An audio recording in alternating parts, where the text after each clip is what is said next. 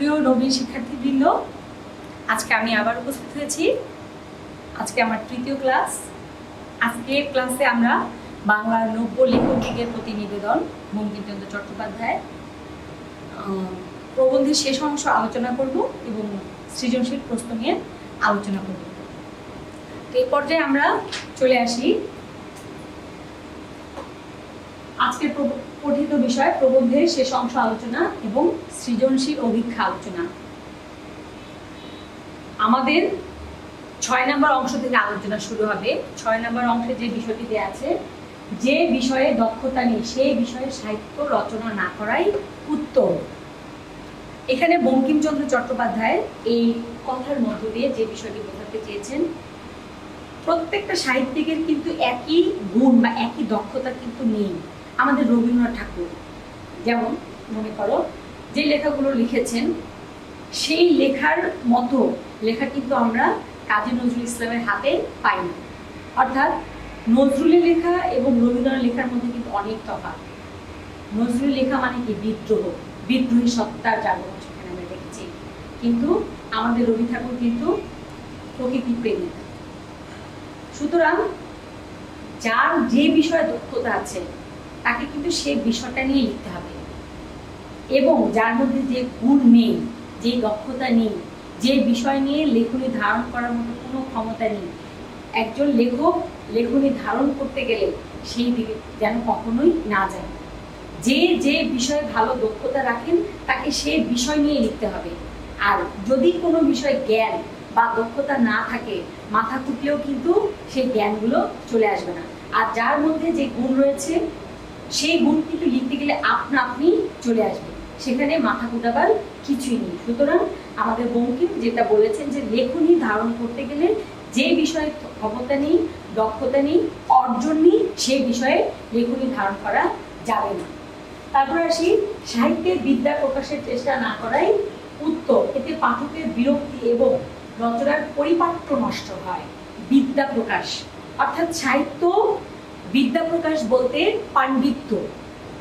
এখন কেউ যদি মনে করে তার জ্ঞানের সম্ভার বিদ্যা প্রকাশ দিয়ে তার লেখাকে সে ভরিয়ে তুলবে সেই ধরনের সাহিত্য কিন্তু পাঠক কখনোই গ্রহণ করবে না। একজন লেখক যে কারণে লেখনী ধারণ করবে, কারণ কি?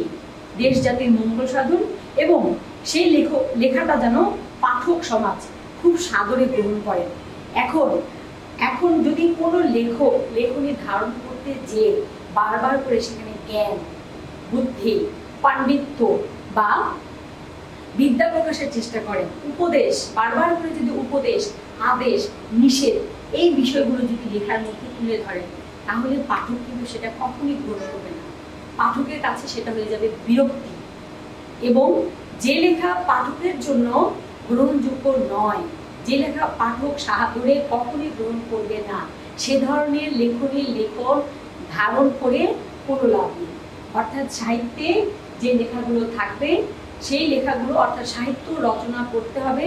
পাঠক যে লেখাটা খুব সহজে গ্রহণ করতে পারবে, পাঠকের রুচির সাথে যে লেখাগুলো খুব সহজে মিলে যাবে, সেই ধরনের লেখাগুলোই সাহিত্যে লিখতে হবে। আর যে লেখা সাহিত্যিকদের যে লেখাগুলো পাঠকের জন্য অনেক বিরক্তির কারণ হয়ে দাঁড়াবে। সেই ধরনের লেখা ধারণ করতে গেলে রচনার যে পরিপাট্যতা রচনার যে সৌন্দর্য বিধান, সেটা কিন্তু নষ্ট হবে। খুব সহজ কথায়, কখনোই সাহিত্যে অতিরিক্ত পাণ্ডিত্য প্রকাশের কোনো দরকার নেই। আর অতিরিক্ত পাণ্ডিত্য প্রকাশ করতে গেলে সেই সাহিত্যের পরিপাট্য বা সৌন্দর্যতা বা সাহিত্যের যে গুণ বা সাহিত্যের যে বিষয়গুলো, সেগুলো নষ্ট হয়ে যাবে। তারপরে চলে আসি সাহিত্যে অপ্রাসঙ্গিক অলংকার ব্যবহারের কোনো প্রয়োজন নেই।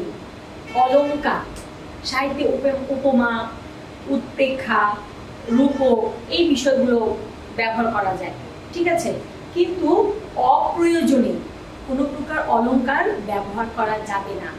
কেউ যদি মনে করে যে সাহিত্যে অলংকার দিয়ে ভরিয়ে তুললে সেই সাহিত্যটা খুব ভালো সাহিত্য হবে, সেই সাহিত্য পাঠকের কাছে খুব গ্রহণযোগ্যতা পাবে। আবার কেউ যদি মনে করে সাহিত্যে হাস্য রসিকতা, ব্যঙ্গ হ্যাঁ এগুলো দিয়ে ভরে তুলে, সেই সাহিত্যগুলো পাঠকের কাছে খুব সমাদৃত হবে। পাঠক সেটা পড়ে খুব আনন্দ পাবে, খুব মজা পাবে। কিন্তু যেখানে যে অলংকার প্রয়োগ করা প্রয়োজন, সেখানে সে অলংকার প্রয়োগ না করে অতিরিক্ত যদি অলংকার প্রয়োগ করা হয়, শুধু শুধু যদি ব্যঙ্গ প্রকাশের চেষ্টা করা হয়, হাস্য রসাত্মক সৃষ্টি করা হয় তাহলে কিন্তু সেই লেখাগুলো পাঠকের জন্য হয়ে উঠবে বিরক্তিকর।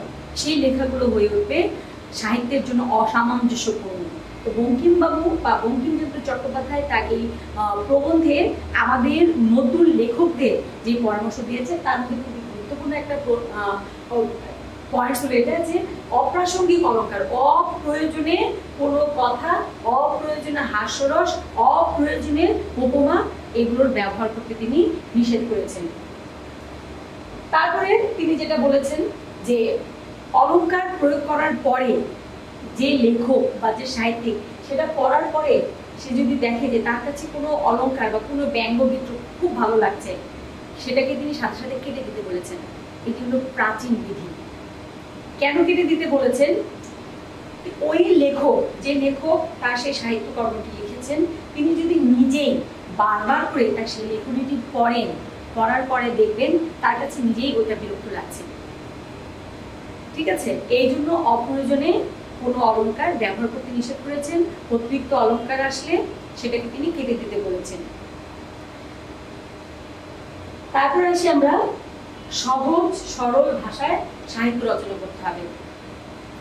সাহিত্যের এই যে একটা বিষয় সহজ এবং সরল, কঠিন দুর্বদ্ধ ভাষা যদি সাহিত্যে ব্যবহার করা হয়, তাহলে কিন্তু পাঠক সমাজ সেই সাহিত্য সহজে গ্রহণ করবে না।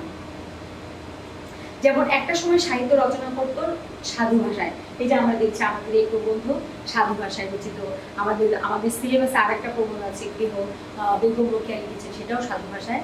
একটা পর্যায়ে কিন্তু লেখকরা সেই সাধু ভাষা থেকে বের হয়ে আসছেন, এখন সাহিত্য রচনা করা হয় চলিত ভাষায়। সহজ কথা হলো, পাঠক যে ভাষা বোঝে না, সেই ভাষা যদি সাহিত্যে ব্যবহার করা হয়, তাহলে পাঠক তো সেই সাহিত্যকে সহজে গ্রহণ করতে পারবে না। আমি যে ভাষা বুঝি না, সে ভাষা সাহিত্য পড়ে আমি কি করব?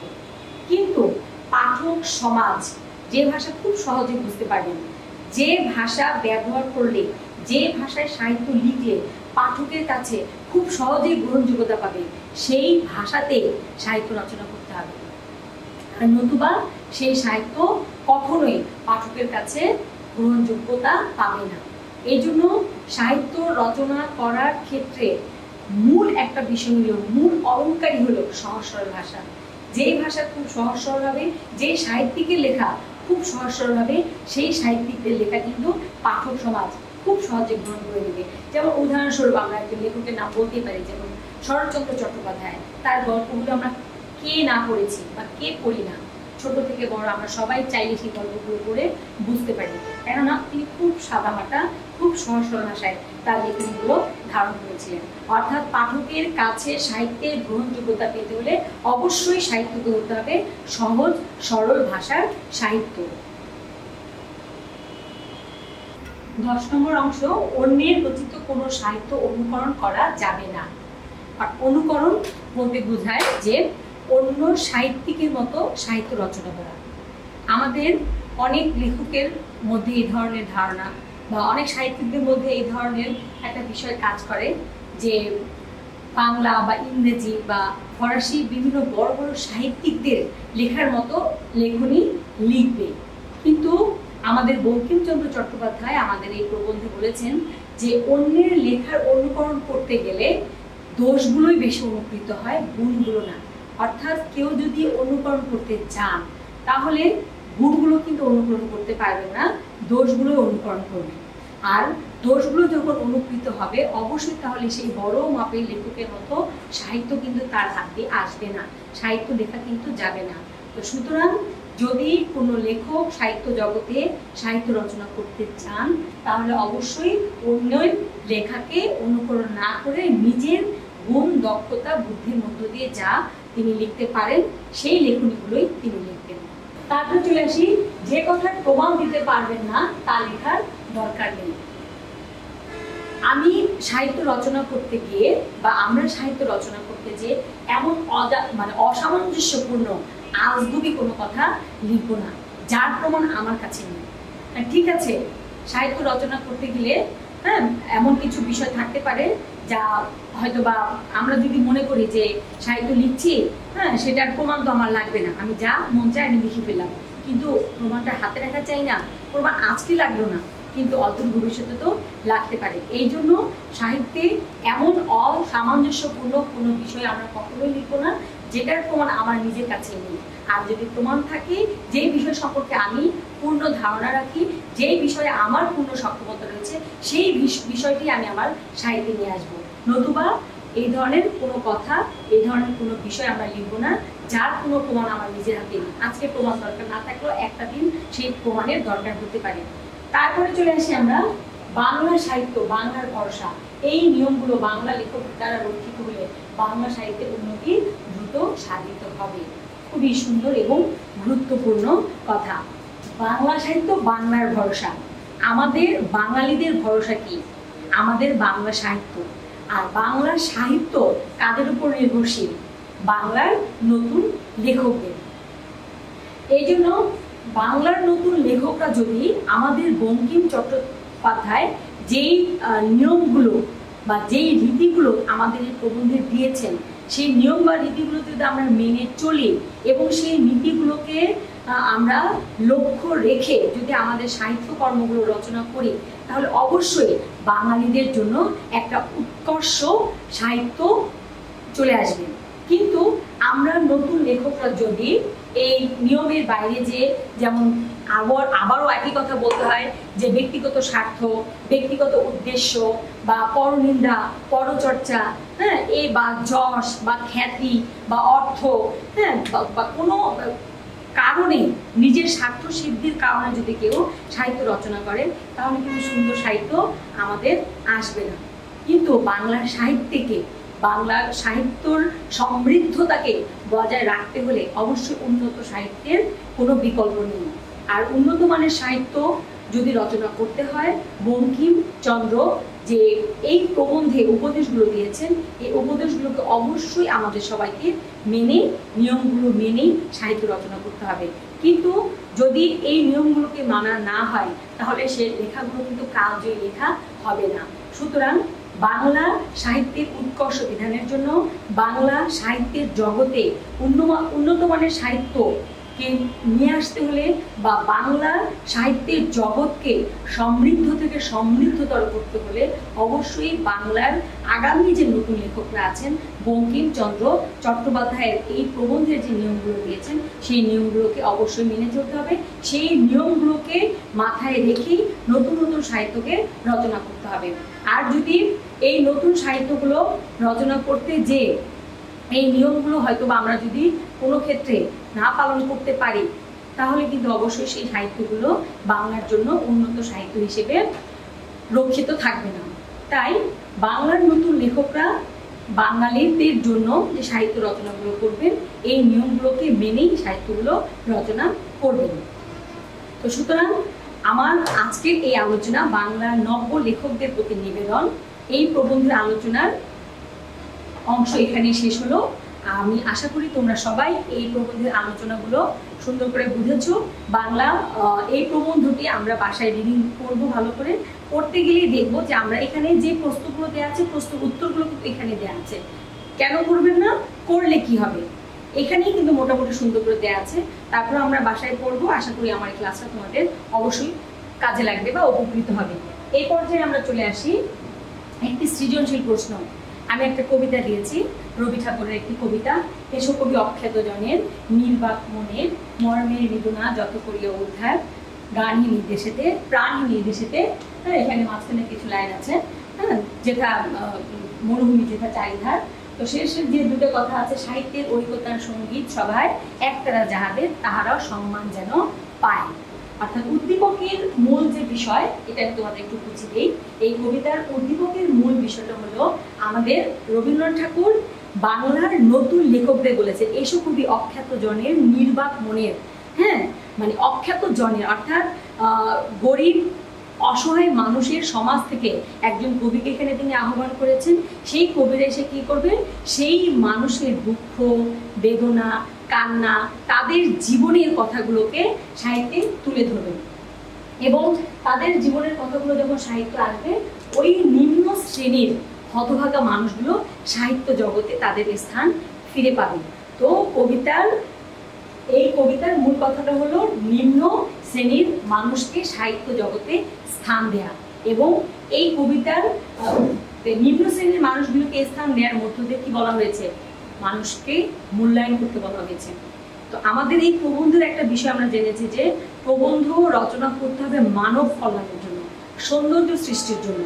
এখানে কিন্তু আমরা কোনো প্রকার স্বার্থ, সিদ্ধির কোনো কিছু পাইনি, কোনো পরপীড়ন পাইনি, পরনিন্দা পাইনি, পরচর্চা পাইনি। তো আমাদের লেখায়, আমাদের আজকের প্রবন্ধের আলোচনার সাথে এই অংশটি মিল রয়েছে না, অমিল রয়েছে না তোমরা নিজেরাই ভালো করে বুঝতে পারছ। তো এইখানে আমরা প্রথমেই পেয়েছি বঙ্কিমচন্দ্র চট্টোপাধ্যায় কত সালে জন্মগ্রহণ করেন। ইতিমধ্যে আমি তোমাদের এটা পড়িয়ে এসেছিলাম, আঠারোশো আটত্রিশ খ্রিস্টাব্দের ছাব্বিশে জুন, চব্বিশ পরগনার কাঁঠালপাড়া গ্রামে আমাদের বঙ্কিমচন্দ্র চট্টোপাধ্যায় জন্মগ্রহণ করেছেন। দ্বিতীয় প্রশ্নটা আছে যে লেখা ভালো হলে যশ আপনি আসে উক্তিটি ব্যাখ্যা করো তো আমি তোমাদের প্রথমে ক্লাসে একেবারে শুরুর ক্লাসে সৃজনশীল অনুধাবন নিয়ে আলোচনা করেছিলাম যে অনুধাবন অংশ লিখতে গেলে দুইটি অংশ থাকবে, দুটি ধাপ থাকবে। প্রথম অংশ জ্ঞান, দ্বিতীয় অংশ অনুধাবন। তো এখানকার জ্ঞান লেখার ভালো হলে যশ আপনি আসবে। অর্থাৎ কেউ যদি ভালো লেখনী ধারণ করতে পারে, তাহলে সেই ভালো লেখা দিয়ে খ্যাতি বা যশ আপনি আপনি আসবেন। যশের উদ্দেশ্যে লেখনী ধারণ করার কোনো প্রয়োজন নেই। তা এটার অনুধাবন অংশ হলো একজন লেখক, তার গুণ, তার সক্ষমতা, তার দক্ষতা, তার বুদ্ধি, তার জানা যে জগৎ, সেই জগৎ নিয়ে সে লিখবে। এবং লিখতে লিখতে একটা সময় সেই সাহিত্যের মাধ্যমেই তার খ্যাতি বা তার যশ সমাজের কাছে কি হবে? বৃদ্ধি পাবে। তারপর আসি উদ্দীপকের সাথে বাংলার নব্য লেখক দিকের প্রতিনিবেদন। প্রবন্ধের কোন দিকটির মিল রয়েছে? আলোচনা করে। এটা হলো প্রয়োগ অংশ। তো উদ্দীপকের সাথে বাংলার নব্য লেখকদের কোন মিলটি রয়েছে? এখানে আমাদের রবি ঠাকুর কি বুঝিয়েছেন? নিম্ন শ্রেণির মানুষকে সাহিত্যের জগতে স্থান দেয়া। অর্থাৎ মানুষকে এখানে কি করেছে মূল্যায়ন করা হয়েছে। নিম্ন শ্রেণির মানুষকে এখানে মূল্যায়ন করা হয়েছে। এখানে মিল রয়েছে কি?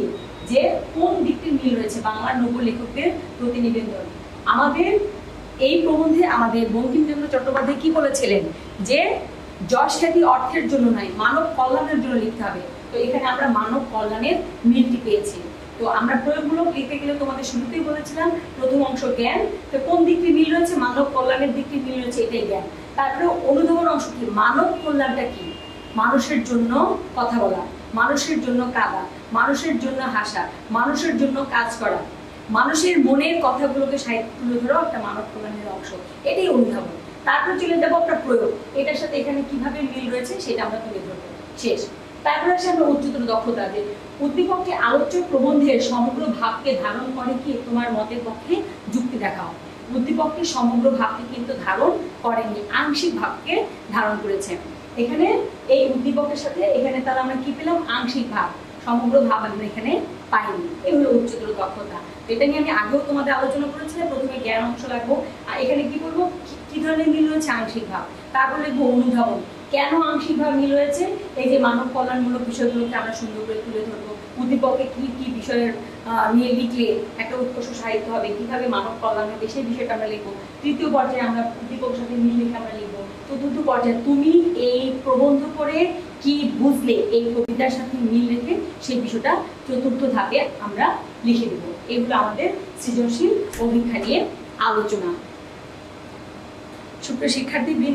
আশা করি তোমরা সবাই বুঝতে পেরেছ, আমার আজকের ক্লাস এখানে শেষ হচ্ছে। আশা করি তোমরা সবাই আমার এই ক্লাসটি মনোযোগ সহকারে দেখেছ এবং তোমরা বাসায় ভালো করে পড়বে, ভালো করে পড়লে অবশ্যই তোমরা বুঝবে। হয়তো বা কোনো কোনো ক্ষেত্রে তোমাদের এমন কিছু থাকবে যে তোমরা বুঝবে না।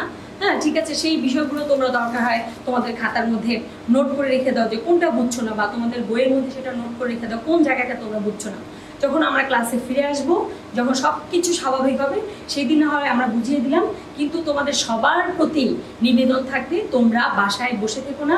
বাসায় আমাদের অনলাইন ক্লাসের মাধ্যমে যে চ্যাপ্টারগুলো পড়ানো হবে, সেগুলো তোমরা আমাদের এই ক্লাসের সাথে সাথেই সেই পড়াগুলো ক্লাসের পড়াগুলো বাসায় পড়বে।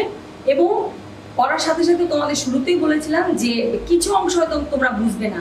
হ্যাঁ হয়তো বা হান্ড্রেডের মধ্যে তোমরা টেন পার্সেন্ট বুঝবে না, বা টোয়েন্টি পার্সেন্ট বুঝবে না। বাকি এইটি পার্সেন্ট কিন্তু তোমরা সবাই বুঝবে। তো সুতরাং তোমরা বাসায় বসে আমাদের বাংলা যে বিষয় কবি পরিচিতি, লেখক পরিচিতি, শব্দার্থ, গল্পগুলো, কবিতাগুলো বাসায় সুন্দর করে পড়ো, উপন্যাসটা পড়ো, নাটকটা পড়ো, যেখানে যেখানে বুঝবে না, আমরা অবশ্যই পর্যায়ক্রমে অনলাইন ক্লাসের মাধ্যমে সেগুলো তোমাদেরকে বুঝিয়ে দিব। তারপর যেটা বাদ থাকবে, তোমরা নোট করে রেখে দেবে।